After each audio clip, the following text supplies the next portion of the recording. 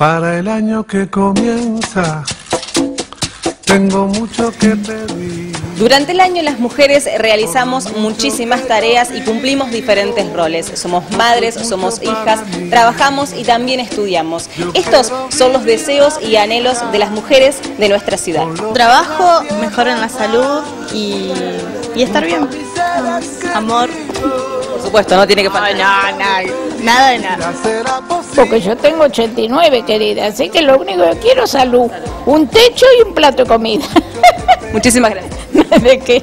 Salud toda la familia, con salud toda la familia y que, que estén bien y que podamos seguir adelante el- toda la familia y, y bueno, principalmente con salud, pues si no tenés salud no podés marchar. Lo que primero pido es que bueno que mi familia siga unida como hasta ahora, llenos de, de cariño entre nosotros y bueno y que todos tengamos mucha salud, mucha felicidad. Que mejore todo, que traiga más paz, más tranquilidad. ¿Y deseo personal cuál sería? Trabajar a lo que me estudié, en lo que me dedico. ¿A, qué- a a qué estudiaste? Y bueno, que estemos más unidos y que siga la Argentina como sigue, ¿no es cierto? Que más o menos estamos bien. Eh, paz, amor, sobre todo eh, más comprensión, tolerancia el uno con el otro.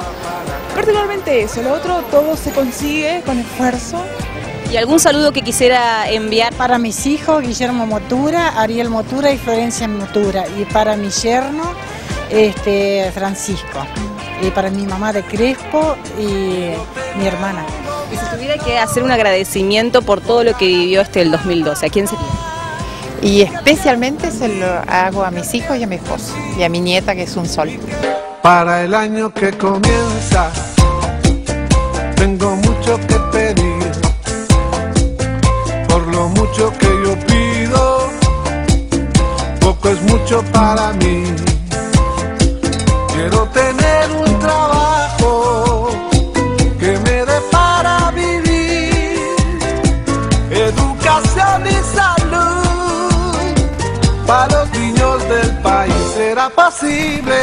Y si se puede, quiero un ritmo